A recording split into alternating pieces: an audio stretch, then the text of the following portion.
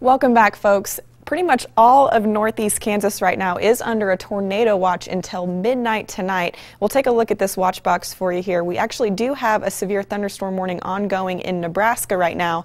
None right now in Kansas, though. We'll take a look at this line of storms that's developing on our MaxTrack radar, and we are tracking a cold front. You can actually see it pretty well defined here on our radar. It's actually showing up on this thin green line right here, getting ready to make its way into Republic County right now. But but this line of storms will actually start to develop further to the south as we head through the next couple of hours. And eventually the whole line will track to the south and east as we head throughout the night tonight.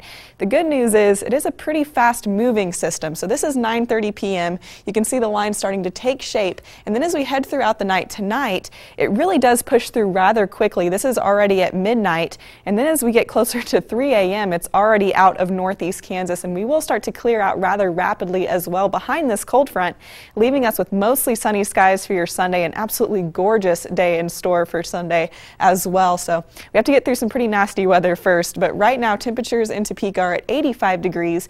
We do have a breezy south-southeast wind in place running about 15 miles per hour right now. But all across northeast Kansas, temperatures are still relatively more warm thanks to those southerly breezes.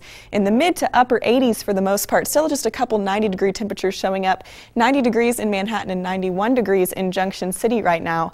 But we are tracking that cold front but thank goodness because we do have some humidity around and that's making it feel just a little bit hotter with temperatures feeling like they're in the upper 80s to low 90s across northeast Kansas right now. But let me show you what this cold front does for our temperatures. We'll track out your humidity as we go through the next couple of days. So this is tonight at 7.30, but notice as we start to track the cold front making its way to the south and east, we dry out rather rapidly as we head throughout the night tonight. And then by the time tomorrow afternoon rolls around, we'll be under dry conditions really cool temperatures, in fact, and just a beautiful next couple of days in store for us. It's going to feel like fall once again, at least through today, tomorrow, and then we'll start to warm up for Monday as well. But for tomorrow, temperatures only in the upper 70s. 78 degrees in Topeka and Manhattan, 77 degrees in Emporia for tomorrow.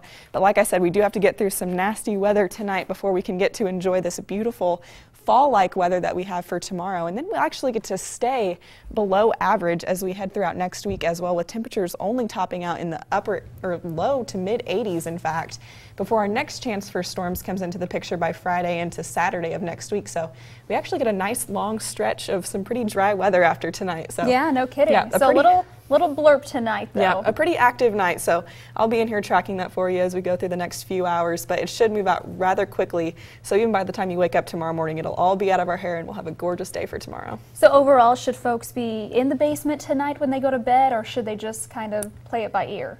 I think that you should probably play it by ear tonight.